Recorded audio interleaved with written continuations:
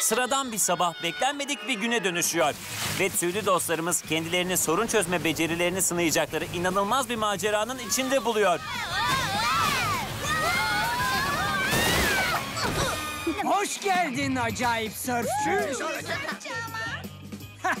Dostum süper bir havlu numarasıydı. Ben Bailey Bill. Senin adın ne? Aa, Freddy. Hey Ah! Freddy, sörf yarışmamız için çok uygun bir tipsin bence. En acayip numarayı yapan altın sörf tahtasının sahibi olacak. Ay, şey, şey. Aa, görünüşe göre sen de o küçük sörf tahtasını istiyor. evet minik kaplumbağa, bugün şanslı bir günündesin. Freddy senin için yarışacak. Suda görüşürüz.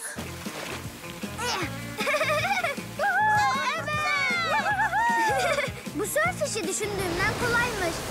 Aa, aa, Düşündüğümden zormuş. Düşündüğümden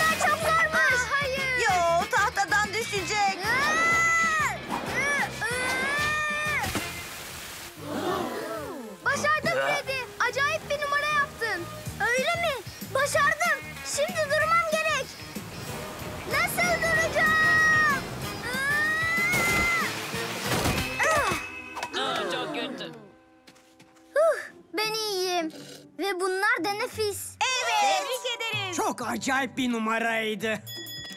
Freddy birinci sıraya yükseldi. Birinci sırada. Bununla Sandy için sörf tahtasını kazanmış olabilir. Doğrusu kimsenin o numarayı geçebileceğini sanmıyorum. Sörf zamanı. Harikasın. Sunburn hariç.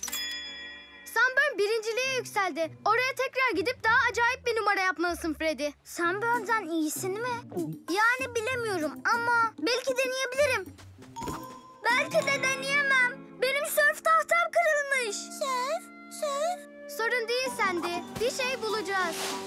Yapabileceğimiz bir şey var mı Tutu? Ah korkarım yok. Hindistan cevizi koyunda dediğimiz gibi birlikte geçirdikleri zamanla artar uyumları. Sörfçünün en iyi dostudur sörf tahtası. Sörf tahtası sörfçünün en iyi dostu mu? İşte bu. Onu nasıl yeneceğimi biliyorum. Öyle mi? Nasıl? Seni sörf tahtam yaparak Pay. Süper. Hey ne? Ben sörf tahtası değilim. Ama sen en iyi dostumsun. Ve bir sörfçüyle sörf tahtası iki iyi Aa. dost gibidir. Öyle değil mi Tutu? Şimdi tam bir sörfçü gibi konuştun. O sörf tahtasını sen diye almak için tek şansımız bu. Sen ne diyorsun Pay? Diyorum ki... Diyorum ki her şey mümkün eğer biz birlikteysek. Hazır mısın Freddy? Ben her şeye hazırım. Yanımda en iyi dostum olduğu sürece. Güzel. Çünkü şu an dev bir dalga geliyor. Vay canına. Bugüne kadar gördüğüm en büyük dalga. Devam et, devam et.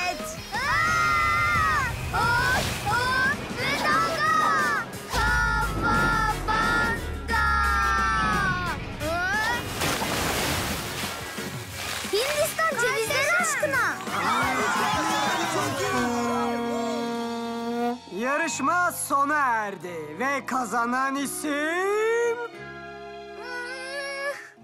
Freddy. Birinin Sunburn'u yendiğine inanamıyorum. En sonunda. Tebrik ederim. Seni tebrik ederim Freddy. Bu sonuçla yeni Hindistan cevizi koyu surf şampiyonu sen oldun. En iyi dostum Pipe olmasaydı başaramazdım.